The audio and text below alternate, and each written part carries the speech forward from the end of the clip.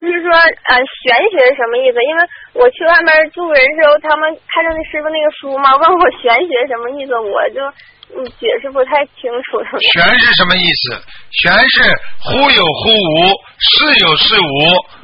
玄有点像中国人讲的禅，听得懂吗？玄就是什么意思？玄就是说这个事情你飘忽不定，看不清楚，看不准，拿不准。这个事情似有似无，好像又相信又不能不相信。像这些东西都是属于玄学。比方说你看不见的东西，但是你相信它的存在，这也叫玄学。我问你，你算命算不算玄学？对不对？是。啊，那那你相信命的人，他就他就是玄学；不相信命的人，他不是玄学。啊，比方说啊，什么命相啊，你比方说中医来讲，你连耳朵上有一两根这种线，人家都知道你的心脏不好，啊，对不对啊？嗯。啊，但是问题，这是连西医都相信的，西医都说耳朵上有一两根纹的人心脏不好。